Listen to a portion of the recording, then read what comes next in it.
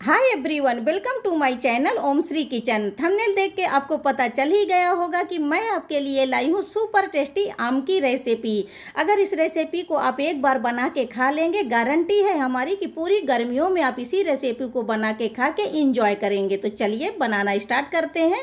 तो यहाँ पर हमने लिया है दो हापूस आम, बढ़िया पके और मीठे आम लेना है. इस बात का आप खास ध्यान दीजिएगा. अब यहाँ पर हम आम को कट करेंगे तो आम को इस तरह हाफ़ कट कर लेंगे, फिर बड़े पीसों में इस तरह हम आम को कट करेंगे। ज़रूरी नहीं है कि आप हापूस आम ही लें, जो शहर में आपके अवेलेबल हो, आम आप वो ले सकते हैं, बस आम अच्छे, पके और मीठे होने चाहिए।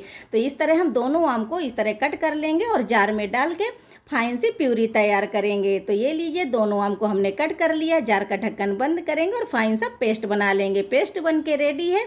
तो अब यहाँ पे हम पेस्ट को साइड में रखेंगे। चलते हैं नेक्स्ट प्रोसेस में। गैस में हमने बर्तन रख दिया है। ध्यान दीजिएगा कि जो भी आप बर्तन लें, मोटे तले का होना चाहिए। इसमें हमने ऐड कर दिया है एक चम्मच पानी, आधा लीटर दूध। तो दूध आप फैट मिल्क, टोन मिल्क दोनों में से कोई सा भी ले सकते हैं। दूध को स्टेयर करेंगे, हल्का सा गर्म होने देंगे। जैसे दूध हल्का सा गर्म होगा तो हम बाउल में पाँच से छः चम्मच दूध निकाल के लेंगे। दूध को पूरी तरह से ठंडा होने देंगे तो ये लीजिए, दूध यहाँ पे पूरी तरह से ठंडा हो गया है। इसमें हम ऐड करेंगे दो चम्मच वनीला फ्लेवर का कस्टर्ड पाउडर। अगर आप दूसरे फ्लेवर का कस्टर्ड पाउडर लेना चाहते हैं तो आप वो ले सकते हैं। मिक्स करेंगे। कस्टर्ड के घोल में लम्स गुठोलियाँ नहीं होना चाहिए। अब यहाँ पर हम दूध को चेक करेंगे तो दूध में देखिए, उबाल अच्छी तरह से आ गया है। तो अब यहाँ पर हम ऐड करेंगे वन फोर्थ कप चीनी। चीनी आप अपने टेस्ट के अकॉर्डिंग कम ज़्यादा डाल सकते हैं, जितना मीठा कम ज़्यादा आप खाना पसंद करते हो। मिक्स करेंगे, चीनी को मेल्ट होने देंगे। तो ये लीजिए, चीनी यहाँ पे अच्छे से मेल्ट हो गई है तो यहाँ पे हमने ऐड कर दिया है वन थर्टी स्पून इलायची पाउडर।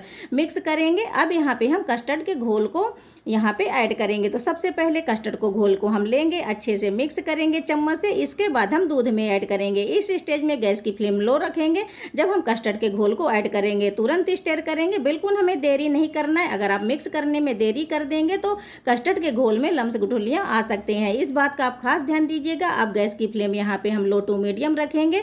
कस्टर्ड को डेढ़ से दो मिनट के लिए पकाएँगे ताकि कस्टर्ड हमारा बढ़िया सा गाढ़ा और थिक कंसिस्टेंसी में आ जाए।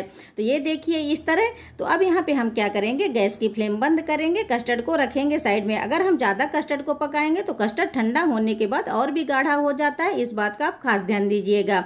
तो अब यहाँ पे हमने साइड में रख लिया है। पूरी तरह से ठंडा होने देंगे। इसके बाद हम फ्रिज में रखेंगे दो घंटे के लिए। आप चाहें तो फ्रिज में एक घंटे रख के भी सर्व कर सकते हैं। तो ये लीजिए। यहाँ पे कस्टर्ड पूरी तरह से ठंडा हो गया। दो घंटे के बाद यहाँ पे हम चेक कर रहे हैं। कस्टर्ड को हमने बाउल में ट्रांसफ़र कर लिया था फ्रिज में रखने से पहले।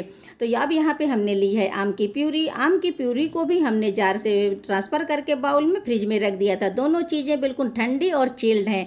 अब यहाँ पे हम अच्छे से मिक्सर से मिक्स कर लेंगे कस्टर्ड को। तो ये लीजिए सुपर टेस्टी हमारा मैंगो कस्टर्ड मिक्स होके रेडी है। तो अब आप चाहें तो आप इस तरह भी खा सकते हैं। खाने में बहुत ही टेस्टी लगता है, लेकिन हम और भी सुपर टेस्टी बनाएँगे तो चलते हैं सर्विंग की ओर तो अब इसमें हम ऐड करेंगे छोटे छोटे मैंगो चंक्स। यकीन मानिए, जब आप खाएँगे, मुँह में बाइट में चंक्स आएँगे तो बहुत ही टेस्टी कस्टर्ड लगते हैं। खाने में ज़रूर ऐड कीजिएगा। थोड़े से हम ड्राई फ्रूट ऐड करेंगे। इसमें काजू, बादाम, पिस्ते, एक चेरी ऐड कर देंगे ताकि कस्टर्ड खूबसूरत लगे। तो इन गर्मियों में आप बनाइए कस्टर्ड की रेसिपी, फैमिली के साथ इंजॉय कीजिए। रेसिपी पसंद आई हो तो प्लीज़ मेरे चैनल को लाइक कीजिए, सब्सक्राइब कीजिए, दोस्तों में शेयर कीजिए। फिर मिलती हूँ नेक्स्ट रेसिपी में। तब तक के लिए बाय